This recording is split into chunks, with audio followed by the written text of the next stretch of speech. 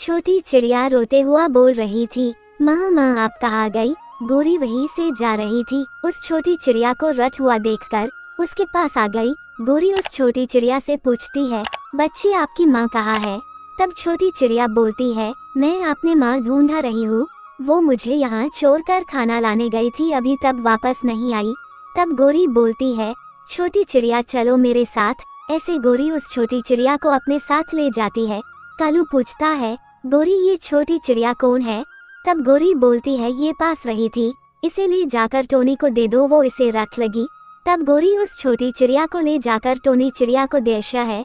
तब टोनी चिड़िया उसे अपने साथ रख लेती है। ऐसे रात हो जाती है। कुकू बोलता है, ये मेरी माँ है, मेरी माँ के साथ मैं सोऊँगा। तब टोनी बोलती है, कुकू बेटा, ये आज से आपकी बहन है। वो छोटी चिड़िया चिड़िया को बोलता है, तुम चली जाओ यहाँ से। तब छोटी चिड़िया बोलती है, मौसी, आप ही अपने पास सुलाओ मैं यहाँ पर सो जाऊँगी, वो सब सो जाते हैं, ऐसे ही बहुत दिन बीत जाता है। कुकू उस छोटी चिड़िया को अपना बहन नहीं मानता था। कुकू बोलता है, ये फल मैं खाऊँगा।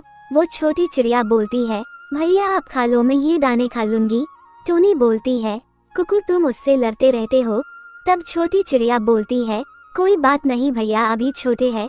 कुकू और वो छोटी चिड़िया दोनों नदी पानी पीने तब जगू पूछता है, कुकू ये कौन है? तब छोटी चिड़िया चिड़िया बोलती है, मैं कुकू बहन हूँ। तब कुकू बोलता है, नहीं, ये मेरी बहन नहीं है, ये अनाथ है। जगू हंसने लगता है।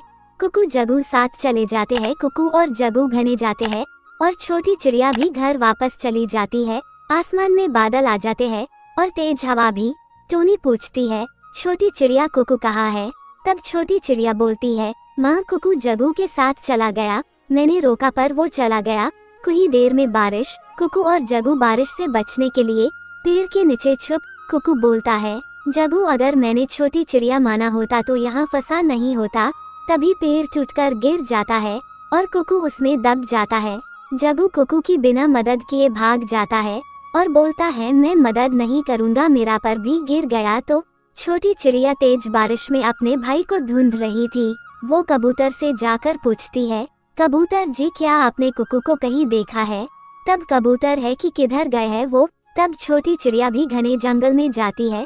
छोटी चिड़िया कुकू की आवाज़ सुन लेती है। छोटी चिड़िया उसको बाहर, फिर कुकू को अपने ऊपर बिठाकर घर ले जाती है। अपने बेटे को देखकर टोनी बहुत खुश होती है। कुकू बताता है कि, माँ, मैं जंगल में गया था, वहीं पर ये सब हुआ। जगू छोड़कर भाग गया, फिर कुकू अपनी बहन से माफ़ी माँगता है और उसके गले लग जाता है। प्यारे बच्चों इसलिए आपने माँ पापा से प्यार करो और उनकी बात मानो।